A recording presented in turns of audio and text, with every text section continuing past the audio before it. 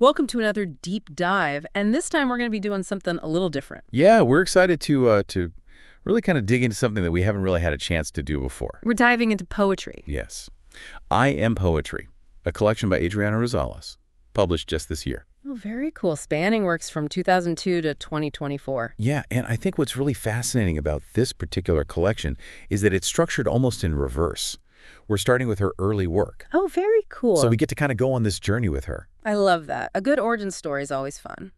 Absolutely. And I think particularly, you know, we look at her earlier works, the ones collected in Early Echoes from 2002 to 2019, we really start to see her grapple with these, these really intense emotions.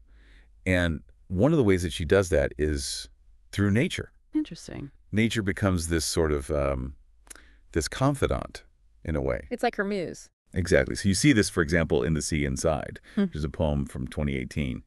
And she uses the vastness of the ocean, right, to kind of grapple with the enormity of life and all of its mysteries. It's interesting because I noticed that throughout this section, Early Echoes, she seems to come back to this idea of the outer world versus the inner world. There's there's always this this interplay between the tangible, you know, what we can see and touch, and then the intangible, these bigger, deeper thoughts and feelings. Absolutely. And I think for a young poet, it's a way of making sense of the world around them, Right, exactly. by connecting it back to something that is familiar and yet also full of wonder. and you can really see that in a poem like Viva Modo Tuyo from 2009, Oh, yes. which translates to live life your way.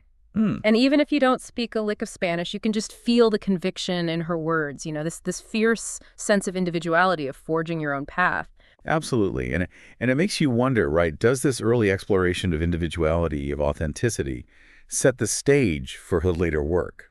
The work where she starts to tackle social issues head on, you know, where she really finds her voice and uses it to speak truth to power. Ooh, that's a great question. And I'm kind of I'm kind of anxious to see where she goes with that. But before we get ahead of ourselves, let's talk about this section Mexican Waikiki. Yes. Which I found really interesting because even though it's you know, chronologically further along in the collection, Right. these poems are actually from an earlier period in her life. Exactly. We're talking about poems written when she was a teenager, grappling with her identity, specifically her cultural identity. And she does it in such a relatable way. Take Miss Chanclitus, for example, the poem from 1992. It's literally a poem about a pair of sandals. Oh, wow. But it's so much more than that, right? Right. It speaks to this universal experience of of being caught between two cultures, trying to figure out where you fit in. You know, I have a feeling that we're going to see this theme of identity come up again and again as we go through this collection. Absolutely. It's a thread that runs deep. And it takes on an even bolder tone in a poem like Mexicana in America from 2011. Hmm, okay. Here, she's not shying away from the complexities of being bicultural. Oh, that's interesting. She's addressing stereotypes head on. You can feel a shift in her voice, a newfound confidence. Like she's really finding her footing. Exactly. And I think that's one of the things that makes this collection so compelling. Yeah. It's like we're witnessing her evolution as a poet, as a woman, as a human being. Absolutely. It's a privilege to witness this kind of vulnerability, this willingness to share her journey with the world. It's like she's really coming into her own, you know, finding her voice and using it to make a statement. Exactly. Mm. And speaking of finding your voice, this next section, well, it takes a bit of a turn. We move away from this broader exploration of identity and culture into something deeply personal, the theme of love and longing. Ah, yes. The section dedicated to JM. I have to admit, I was immediately intrigued. Who is this mysterious JM? What's the story here? Right. It's like we're suddenly given access to this secret, hidden part of her heart. And the poems in this section, they're raw, unfiltered, full of this intense longing. Yeah, like in The Night We Met from 2023 and I Ran to You from 2024. There's so much yearning there, so much raw emotion. It's almost like she's trying to hold on to this connection through her words. You know, one of the things that struck me about these poems, especially I Ran to You, is that it doesn't focus on grand gestures or sweeping declarations of love. It's the tiny moments, the seemingly insignificant details that she elevates to something profound. Right. Like the way someone laughs or the way the light catches their hair. Those little things that stay with you long after the relationship is over. Exactly. And in doing so, I think she captures something universal about the human experience. We find ourselves clinging to those small, precious moments, especially when we're grieving a loss or longing for something that's out of reach. And A Dance of Distant Hearts? Oh man, that one really got to me. Even without knowing the backstory, the full context of their relationship, you can just feel the ache of a love that transcends physical distance. Absolutely. And it makes you think, doesn't it, about how our experiences, especially those involving love and loss, shape who we become. Mm. Maybe these poems dedicated to JM are Adriana's way of honoring that impact, of preserving a love that's become an integral part of her story. It's like she's creating a space where that love can continue to exist, even if the relationship itself has changed or ended. And, you know, speaking of change, I noticed that there's this underlying sense of acceptance in these poems, a recognition that nothing lasts forever, like she's finding beauty in the impermanence of it all. You see that especially in tiny moments where she writes, I've learned to find beauty not in the grand vistas of life, but in the minutiae, the seemingly insignificant occurrences that make up a day, a year, a lifetime. It's a really beautiful sentiment, isn't it? This idea that even in the midst of heartbreak, there's still so much beauty to be found if we just take the time to notice it. It's like she's saying, yes, it hurts, but I wouldn't trade those moments for anything. And that kind of brings us full circle, doesn't it? Back to this idea of finding your voice, owning your story, even the messy, complicated parts. Absolutely. And I think what's so compelling about Adriana's work is that she doesn't shy away from those difficult emotions.